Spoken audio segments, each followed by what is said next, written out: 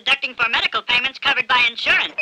This, we suspect, is how a great many people think of ADP, Automatic Data Processing, the newest tax tool of the Internal Revenue Service, and a new dimension in tax administration. But this is the real heart of the Martinsburg Monster, its unofficial name. Nearly everyone in the United States has some concern with this mechanical marvel and its electronic relatives.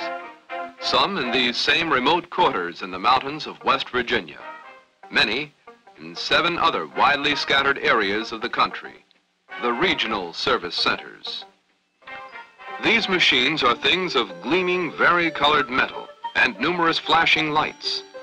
Lights which do not, however, spell out the names of stage and screen attractions and their performers. They spell out, in a sense, the federal tax status of millions of taxpayers, business or individual. While much goes before and much comes after, most of these complex machines are placed in operation by the simple push of a finger.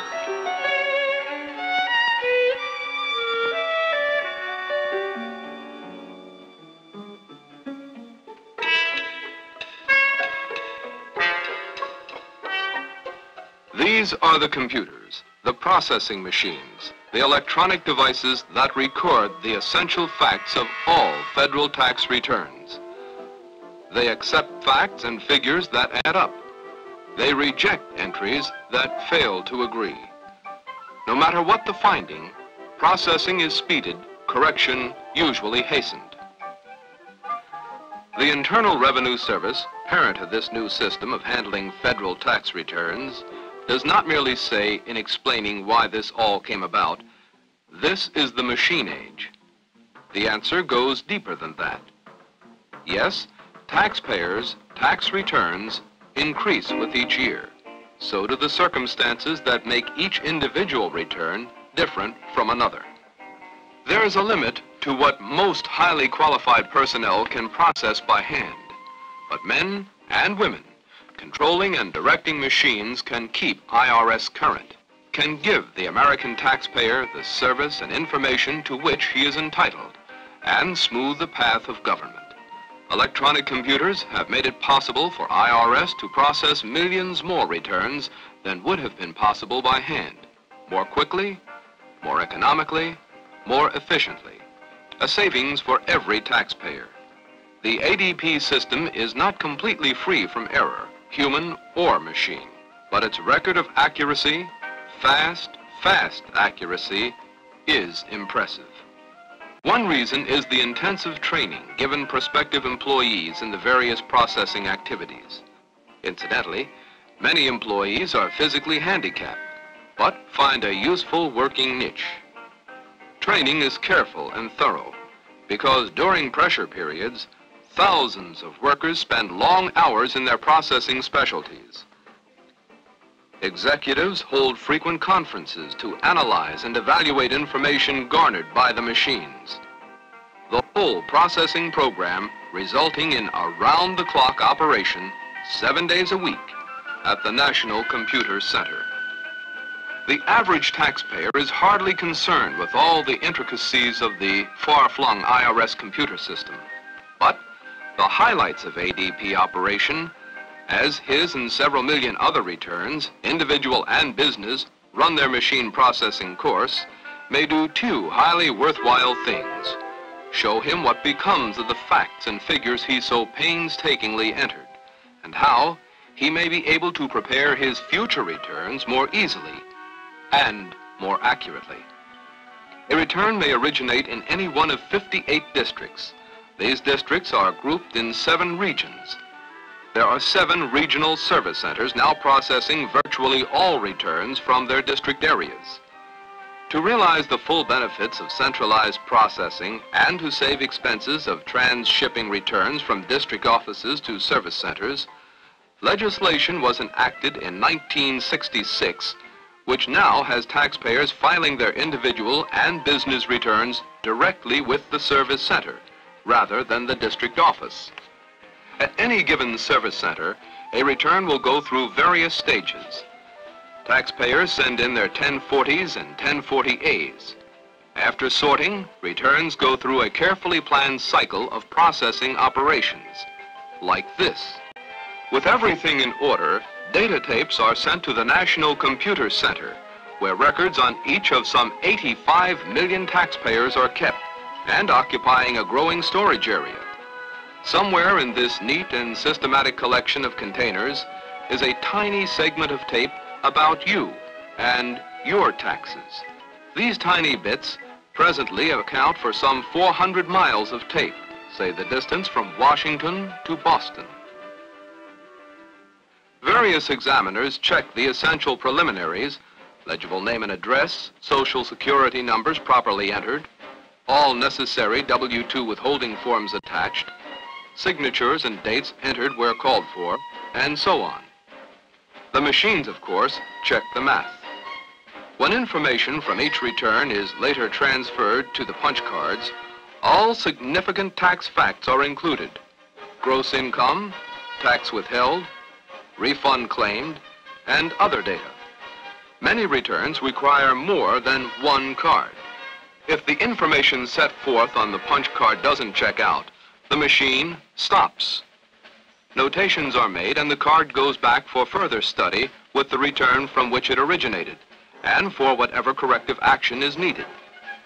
There's a good tape containing data accepted as processed, and there's the error tape with information that doesn't check out.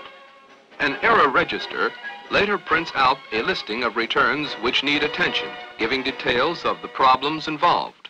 Shortly, the Error Resolution Branch takes over to try to find the causes of the discrepancies. Often they can. When it becomes necessary to write to the taxpayer to obtain needed information, the Service Center's Taxpayer Service Division sends letters like this. The Taxpayer Service Division performs a variety of other services, such as maintenance of return files, research of returns and accounts information, and providing responses to all types of taxpayer inquiries. These and other functions performed by this division provides a means of effectively dealing with the various problems encountered in processing returns and servicing accounts. Various tapes with differing functions are produced. They result from some 300 different programs of instruction which tell the computer what to do in processing tax information fed into it. Among the things brought about by tapes in the later stages are notice to taxpayers showing balance due on an account, notice of error or a change of tax, and so on. A special microfilm is a Martinsburg output item a settlement register examined by trained personnel to see if a taxpayer has properly established his refund claim. There are certain things the taxpayer must do to ensure having entries from his return wind up on a good tape. It isn't difficult to accomplish them. Enter social security numbers where called for, husband and wife if both have income and are filing jointly. Attach W-2 withholding tax forms for all jobs held, again, husband and wife if filing jointly and both worked. Explain dependents other than your children. Use correct tax table or tax rate schedule. Be careful to put entries, refund claims, tax owed, and so on on proper lines. Provide explanatory schedules if needed. Check your math. Sign, both parties if joint, and date. Assuming you have done, or will do, all the things IRS and ADP ask, what benefits do you, the taxpayer, receive from the system? Generally, these are highlights. Computer discovery and refund or credit on costly errors you may have made against yourself in your return, helping assure that all taxpayers are sharing the revenue burden equally. The taxpayer pays no more, no less than what he owes on his return because of computer verification. Thus, IRS can continue to collect the annual billions of federal revenue at a cost of less than one half cent on each tax dollar. To us at IRS, it seems a worthy goal.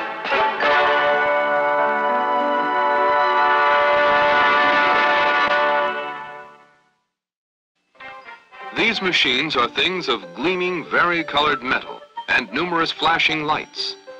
Lights which do not, however, spell out the names of stage and screen attractions. You found one? Did I? It looks like this one is deducting for medical payments covered by insurance. This, we suspect, is how a great many people think. But this is the real heart of the Martinsburg Monster, its unofficial name. Nearly everyone in the United States has some concern with this mechanical marvel and its electronic relatives. Some in these same remote quarters in the mountains of West Virginia. Many in seven other widely scattered areas of the country. The regional service centers.